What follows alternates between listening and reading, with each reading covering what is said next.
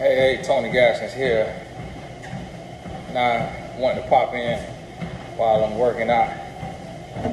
And as I done told you, I got to give you videos when I can get to you. And this one thing that I want you to think about is when you're getting ready to take that step, you gotta think outside the box. Nothing is off limits. And that's what a lot of people don't understand. I got on, I went on Oprah in 2009. It's 2022. I'm still going. People think Oprah changed your life. Yeah, if she's stamping you, but Oprah didn't stamp me. She didn't promote my book. I made zero dollars. I went on there to tell my story of being a toxic, controlling boyfriend in college. Or incident that I had with my ex-girlfriend in the dorm room that got physical.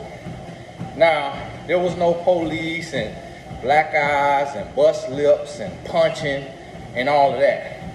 But it got physical, pushing, shoving, slanging, wrestling, you know, found out, I found out about some cheating, about an STD, and things got out of hand. I could have swept it under the rug. I could have hid it. Didn't have to tell nobody. She didn't tell nobody. Didn't have to do any of that. But what I did, I turned that pain into purpose. That mistake into a lesson. I was 19 years old probably when it happened. It's not foreign. Everybody, almost everybody go through it. Almost everybody have been in a relationship that get toxic, that get out of hand. So I could have just kept it as such, but I say, you know what? This is not what should be in relationships. And I still had to make more mistakes. Still in my marriage today, still learning about love. Still learning about myself as a man, about my wife as a woman. Still learning. And as I learn, I'm gonna teach.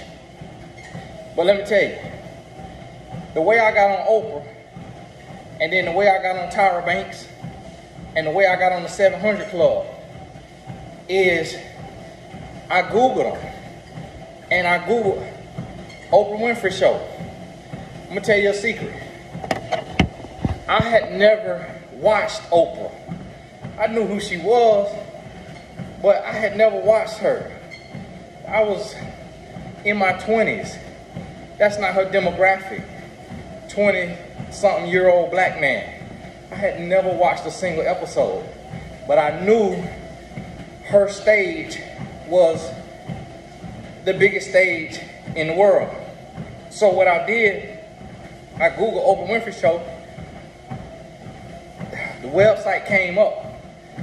When I went to Oprah.com, I'm clicking around. There was a little button that said, tell us your story. And I went in there every day and told a portion of my story, a version of my story. They had a 2,500 character limit. So if a word is four letters, now you got 2,496 characters left.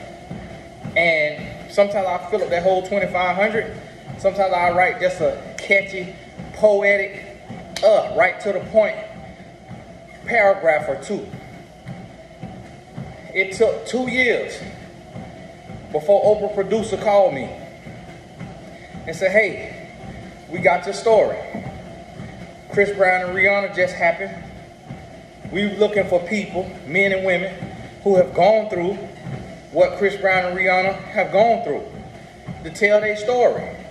It'll be live. It's live. See, if you they had to do it quick, and if you record something like that, if I tell my story and then I change my mind and I say, listen, I don't want to be on there. Take me off of there. Now to mess up the show. They did it live. and it had a little delay. Networks have a little delay in case a curse word is said, in case something is said they got to cut out. I got the call. I had already been talking to Tyra Banks producer. So after I went on Oprah, I went on Oprah. It was me and my wife. I've been married at this point for two years. I had written two books. The story I was telling was from five, six years ago. I had wrote about it in my first book, What Daddy Never Told His Little Girl. That was the title of the book. Long title, I know what daddy never told his little girl. It's still for sale on Amazon. I had wrote about it slightly in there. That was the realest, rawest book I ever wrote because I was fresh out the streets from selling drugs. I, even after I published the book, I went back to selling drugs. Real hood, real basic, just straight no chaser. And I just raw truth in that book. I watered myself down after that because we can't handle the truth. As y'all see with the brother that just passed away, his truth offended a lot of people. We can't handle another human being truth. If you tell me all your truth, I ain't gonna like you. That's just human, just how we are. Just how we are. So here go the book. Boom. I go on Oprah. Sit down, they got me and my wife in the front row. They fly us in, they put us in the Omni Hotel in Chicago. They pick us up in a limo, a real limo. Drive us to the studio. We in there. I go on. We sitting in the front row. Another man telling his story. After he tell his story for a couple minutes, it's my turn. They bring me up on the stage with Oprah. I'm up there on the stage with Oprah. She asked me questions. I can't remember. They show a little intro. They had me read the day before. They had me read the email I sent in. I was a poet, so I exaggerated on the email, and they made me read that. So here I am lying, stretching the truth, making myself look like a monster and they used that because it was good for TV. It was sensational. And that's what I get for wanting to get out here so bad. Wanting to help so bad. Made me look like a monster. And when it wasn't a single punch thrown, wasn't even a slap thrown. It was more so grabbed.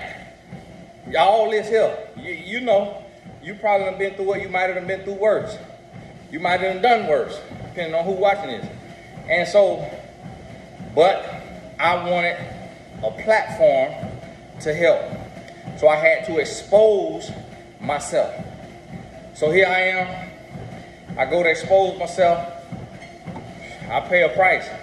If you want the limelight, understand that it will shine on your flaws too. You cannot have the limelight without being exposed. You're going to be exposed. So what I did is I took a lesson from Eminem, the rapper, in the movie 8 Mile.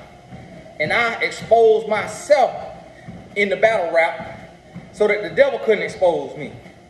See, a lot of influencers come out like a knight in shining armor, like they perfect.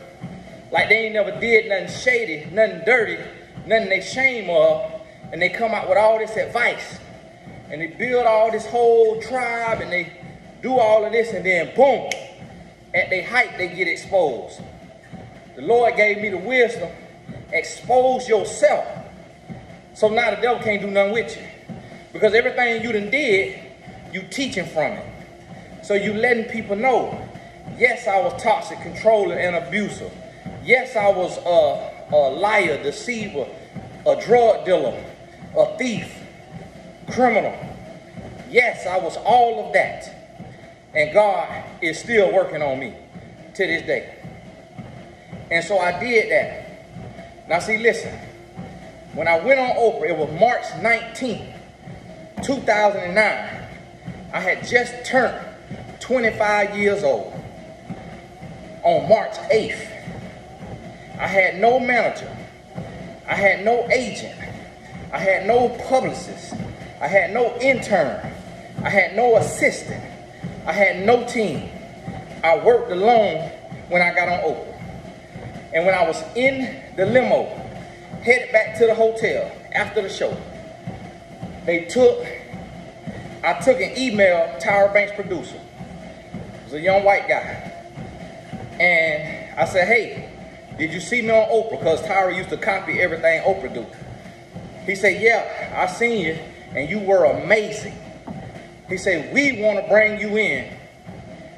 He said, we want to bring you on the Tyra show as a guest expert. See, on Oprah, I was a featured guest. They didn't even put Tony Gaskins. They just put Tony so that I could get no benefit from it, so I could get no followers on social media, so that I could make no money. Because they was having the story of a former abuser.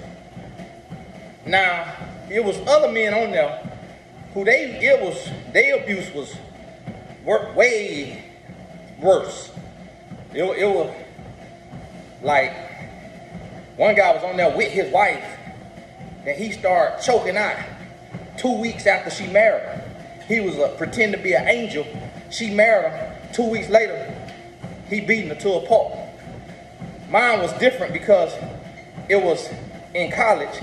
I was 19. It was circumstance, but I didn't even tell the circumstance on there. I didn't say I walked in the room with her talking to her ex-boyfriend.